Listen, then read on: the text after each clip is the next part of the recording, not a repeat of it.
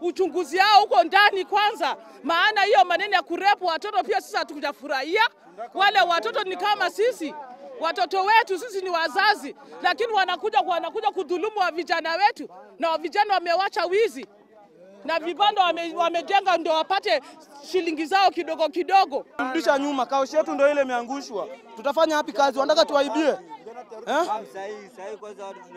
Hey, hapa palimebomolewa ni mali tulikuwa tunakulia 20 years eh, na msanga imetokea, wanasema ati msichana amerepiwa Moi Girls huko. Si hatuna nini nini yoyote clue yoyote juu tumekaa hapa over 20 years. Sisi hatuna haki, sisi tu reformed eh, rikati rute rambirambi rambi.